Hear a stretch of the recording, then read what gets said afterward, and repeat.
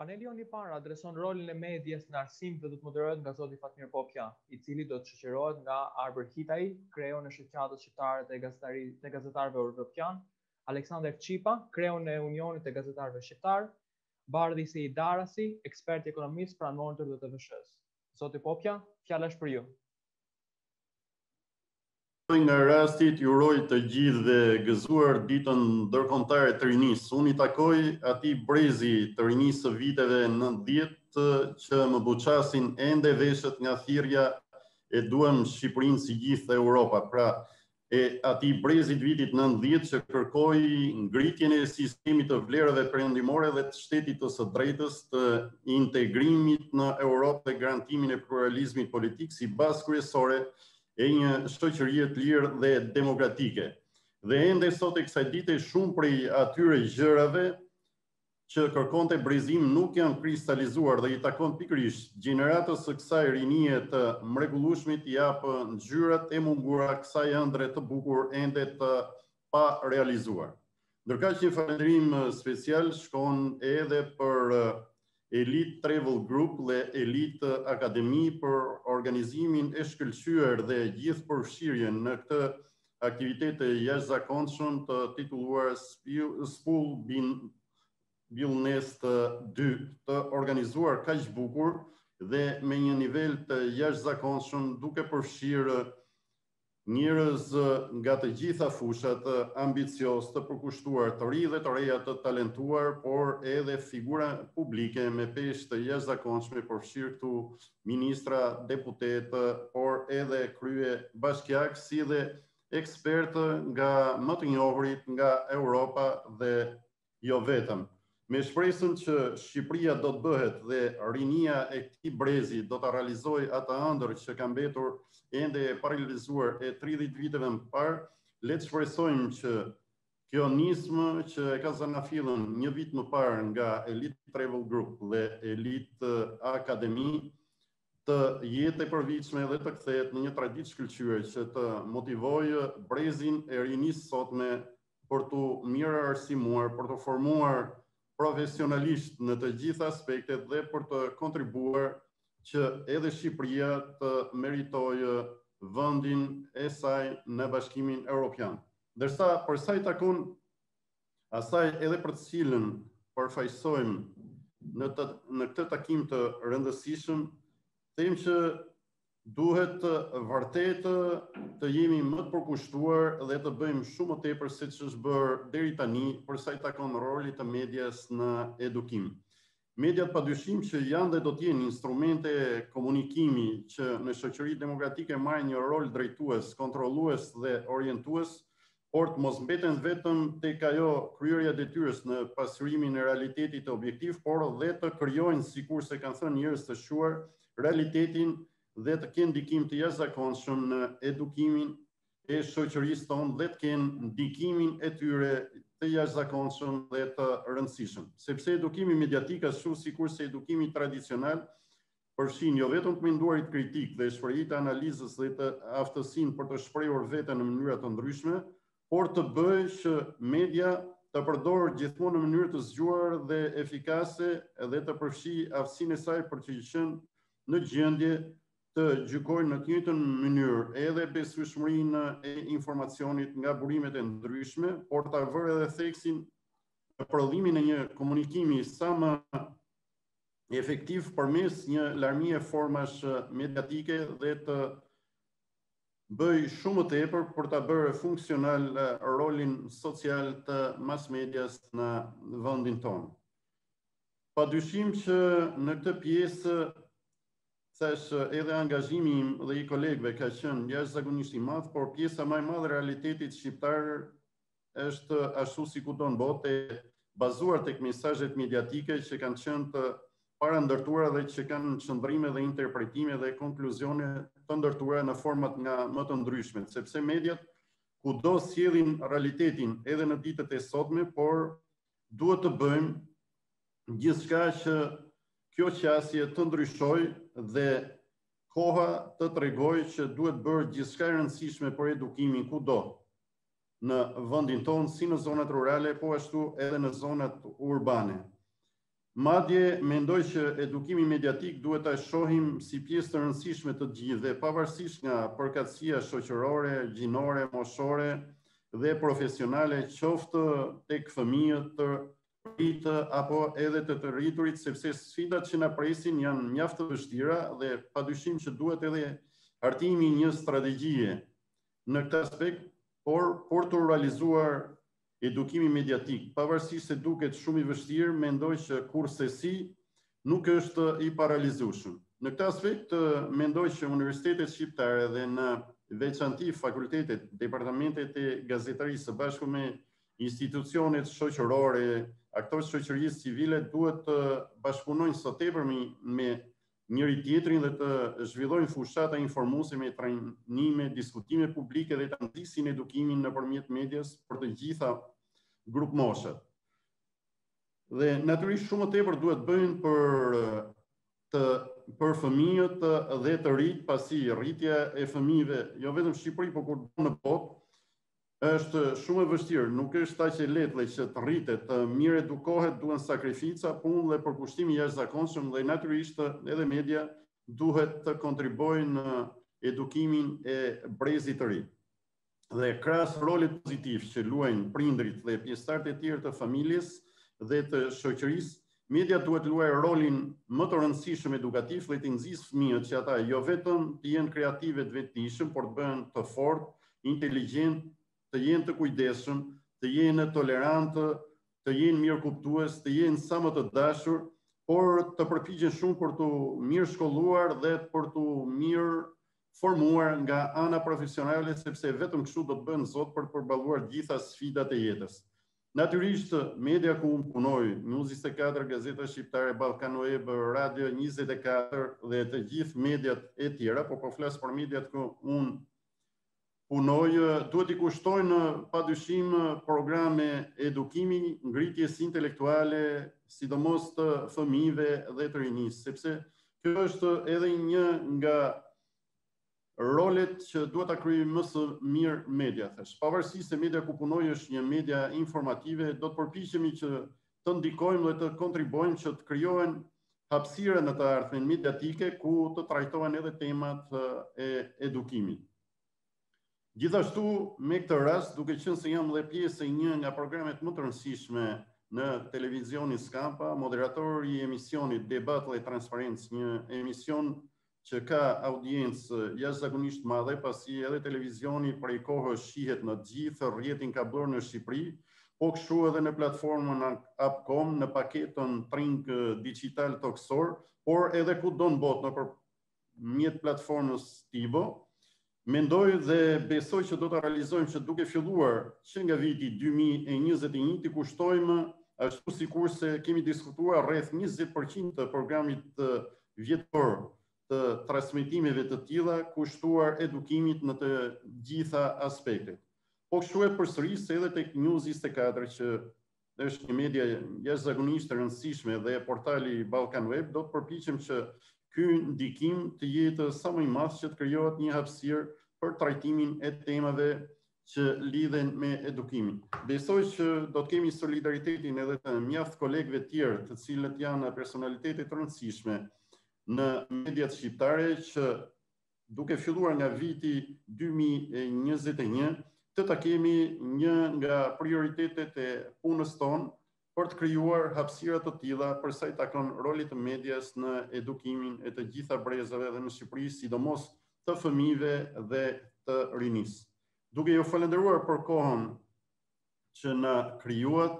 Edhe një herë ju uroj suksese të gjithëve dhe veçanërisht rinisë në këtë ditë mjaft të shënuar të marrë frenat e jetës në duart e saj, duke qenë sa më ambicioz, sa më të përkushtuar për të bërë shumë punë më të mira dhe meqë jemi në Elbasan, edhe Elbasanin për ta bërë një nga qytetet më të jetueshme ku rinia vërtet të jetë një shembull për gjithë rininë e qyteteve tjera dhe rinia elbasanase të jetë vërtet pjesë e krenarisë së rinisë shqiptare, jo vetëm në vendin tonë, po kudo në botë që ato punojnë, studiojnë dhe kanë ndërtuar edhe jetën së bashku me familjet e tyre.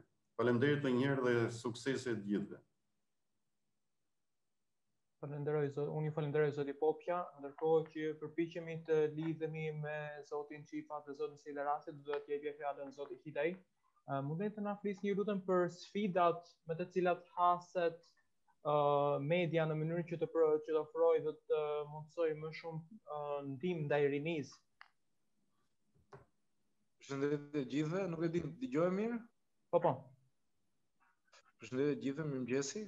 Faleminderit shumë për ftesën. Faleminderit edhe Elite Travel që po organizon një konferencë të tillë. Është vërtet sfidë që të, në ditët e sotme të bësh konferenca të tilla me pjesëmarrje të madhe si nga brenda vendit ashtu dhe nga jashtë, kështu që përgëzime maksimale. Është shumë e rëndësishme në fakt kur flitet për të rinjtë, sepse jo vetëm ata janë e ardhmja, janë në kohët e sotme janë edhe pjesa më e rëndësishme konkurruese për për Shqipërinë. Unë besoj dhe nga eksperiencat e ndryshme që kam pasur në punë dhe jashtë shtetit të rinjtë luajnë një rol të jashtëzakonshëm sidomos në aspektet e turizmit, por edhe në aspektet e tjera që lidhen me politikën, pse jo edhe për biznesin. Kisha përgatitur në fakt një fjalim tjetër edhe me PowerPoint, por vendosa ta ndryshoj duke qenë që besoj që nuk është se ka nevojë rinia ditët e sotme për receta të caktuara, receta të veçanta se çfarë duhet të bëjnë. E rëndësishme në ditët e sotme unë them që ne duhet të jemi konkurrues me arsimin. Si duhet të jemi konkurrues me arsimin? Shkollat profesionale nuk është të thënë që patjetër të jenë vetëm institute arsimore si universitete, por mund të jenë dhe shkolla profesionale shumë të mira të cilat mund të japin një dije mjaft të thellë të rinjve, por gjithashtu mund t'i bëjnë ata dhe mjaft konkurrues.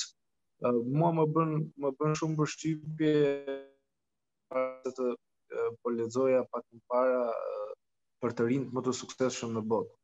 Dhe vura re për shembull që po të shikosh emra gjigantë në arenën ndërkombëtare siç janë Mark Zuckerberg, Bill Gates e të tjerë, sukseset e tyre më të mëdha Pra, ata i kanë patur kur kanë qenë të rinj. Që do thot pse i kanë patur kur kanë qenë të rinj? Kanë qenë më të zgjuar se të rinjtë shqiptarë, kanë qenë më të zgjuar se të rinjtë kosovarë. Unë nuk e besoj se ata kanë qenë më të zgjuar, por unë besoj që ata kanë guxuar më shumë. Ata kanë guxuar, kanë thyer barrierat. Ajo që duhet të rinjtë në ditët e sotme, mendoj unë, ata duhet t'i thyejnë barrierat. Nuk duhet të kenë kufij në mendjen e tyre. që do thot çdo gjë është e arritshme në këtë jetë, çdo gjë është e mundur. Mjafton të ëndërrojmë pak, mjafton të guxojmë pak. Po të shikosh, unë dëgjova me vëmendje pak edhe fjalën e kolegut Popja, që tha, kam qenë te ata studentë të viteve nëntëdhjetë. Pra, ata, ata të rinj atë kohë nuk bënë një gjë të zakonshme, pra ata guxuan. Çfarë guxuan? Ata guxuan që të thonë disa gjëra, të thonë disa të vërteta të hidhura që Shqipëria nuk, është, nuk ishte si gjithë Europa. Ata guxuan, pra atë që unë u sugjeroj të gjithë të rinjve, ditët e sotme që ata të guxojnë, por jo të guxojnë thjesht me atë vrullin e moshës, por ata duhet të guxojnë edhe me me dije, pra duhet të guxojnë edhe me iniciativa personale, me iniciativa në fushën e turizmit, iniciativa në fushën e digitalizimit. Unë kam kolege atë personalitet po e quaj në mënyrë që arriti ta kthejë kanionin e Osumit ta kthejë në një lloj atraksioni turistik. Po të flisje pak kohë më parë, po të flisje 4-5 vite më parë, kanioni i Osumit ishte një, një zonë e humbur turistike, një, një nocion gjeografik. Por dëshira, guximi, vullneti, angazhimi, bëri që të kthehet kanioni i Osumit në një destinacion të rëndësishëm për rafting. Pra, çfarë çfarë duhet ditët e sotme? Guxim, por siç e thashë, ky guxim nuk duhet të jetë i, i bazuar thjesht te vrulli i moshës, por duhet të jetë i bazuar në dije, në njohuri, sepse nuk mjafton të thuash që jam jam i ri dhe aty fillon dhe mbaron gjithçka. Por duhet dhe ta bazosh atë në njohuri, duhet ta bazosh në dije, duhet ta bazosh në gjëra konkrete. Për të kaluar pak tek ajo që ti më pyete, sepse kisha shumë të rëndësishme ta thosha këtë dhe ia them çdo të riu që uh, duhet të guxojë në jetë por gjithmonë duke u bazuar uh, në uh, duke u bazuar në gjëra konkrete për t'u kthyer pak tek uh, aspekti mediatik ka një mungesë të madhe duhet theksuar të vëmendjes që media i kushton të rinjve kjo unë dua ta shikoj në në dy anë uh, pra është një problem edhe i medias është dhe një problem uh, edhe i të rinjve Po filloj fillimisht me problemin e medias, duke qenë që jam edhe edhe pjesë. Në shpesh, në shumë raste ne të rinjtë ka të rinj shumë të talentuar, shumë novatorë e të tjerë, por kanë këtë fobinë, po e quaj unë ose kanë këtë qëndrimin e tyre që duan të jenë larg medias.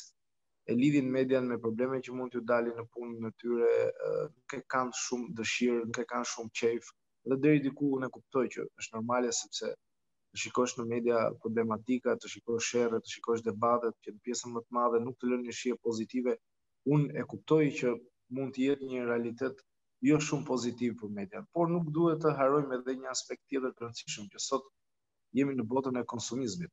Çfarë do të thotë kjo që edhe mediat duhet t'i përshtaten tregut, sepse në fund të ditës janë reklamat, po themi burimi kryesor që kanë një pjesë e madhe e mediave në Shqipëri.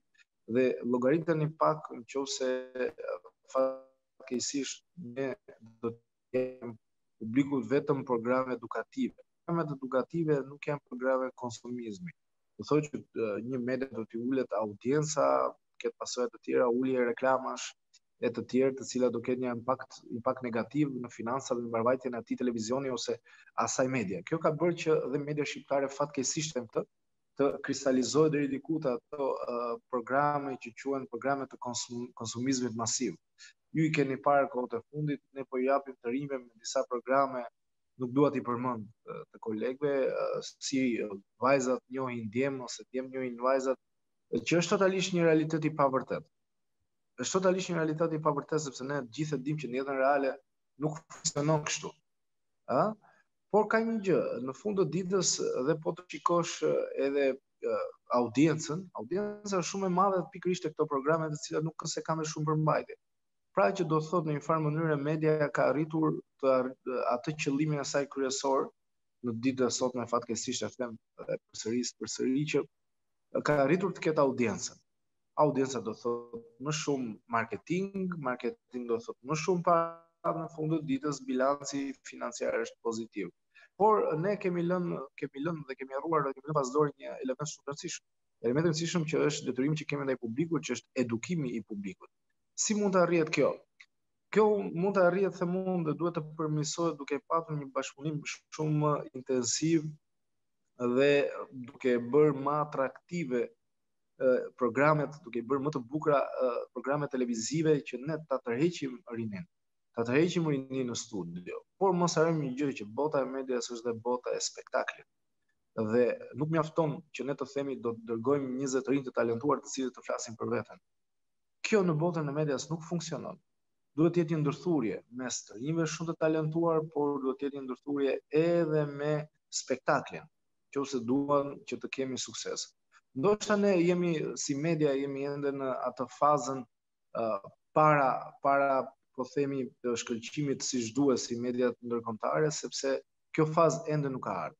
Në mediat e tjera ka ardhur, por po shikoni me vëmendje ne kemi marrë gjithë kohën modelet italiane të zhvillimit, sidomos Mediaset ose Rai Uno që kanë qenë dhe janë media shumë avangardë, shumë të zhvilluara, po të shikoni dhe ata bëjnë një lloj miksimi. që do të thotë bëjnë një lloj miksimi mes programeve të konsumizmit masiv, por edhe programe edukative, dhe programe për promovimin e turizmit, për digitalizimin, për qëndrueshmërinë e të tjera.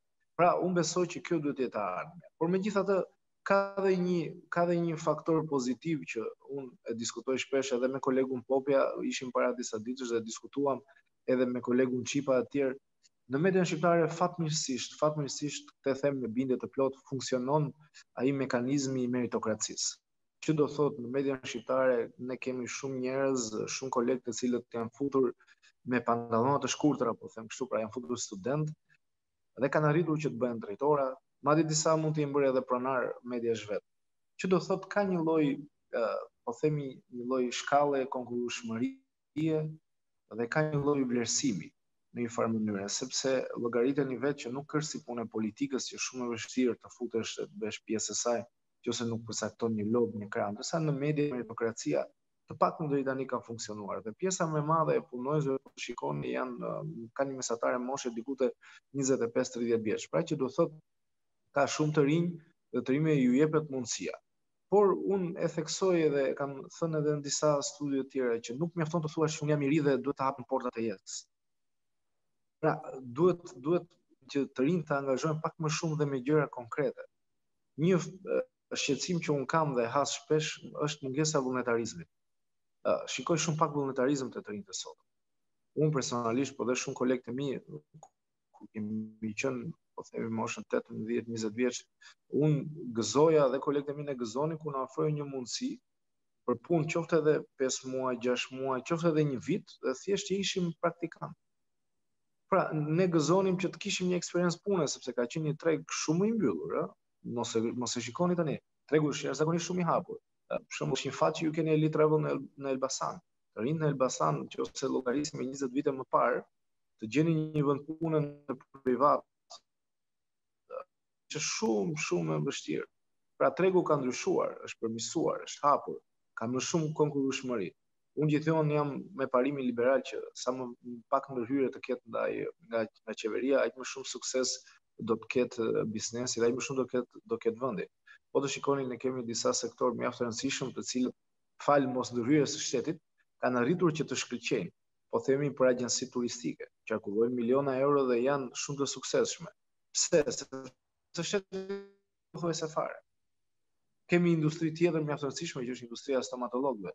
Pra, industria e dhëmbëve, qoftë se mund ta quaj kështu që vijnë dhe nga jashtë shtetit dhe ka një sukses të jashtëzakonshëm deri para pandemisë, kuptohemi, ka ka patur një sukses të jashtëzakonshëm sepse shteti nuk ka ndërhyrë. Dhe ajo që ne duhet të kërkojmë sidomos të rinjtë, që ore gjithmonë te shteti shteti. Kjo është një çik problem edukimi, kam përshtypjen unë sepse të rinjtë në Shqipëri vazhdojnë të mësohen dhe vazhdojnë një pjesë e madhe të studiojnë me libra të vjetër, me libra të cilët madje mund të jenë nga epoka komuniste.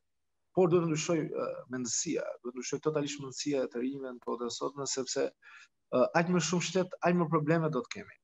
Pra të rinjtë duhet të shkojnë drejt modeleve perëndimore, po ta shikoni në Gjermani një biznes ose në në Francë ose në Angli ose në Shtetet e Bashkuara të Amerikës, tatimori atje nuk as nuk njihet. Njerëzit nuk e njohin konceptin e tatimorit. Por duhet të fillojë që te të rinjtë kjo gjë.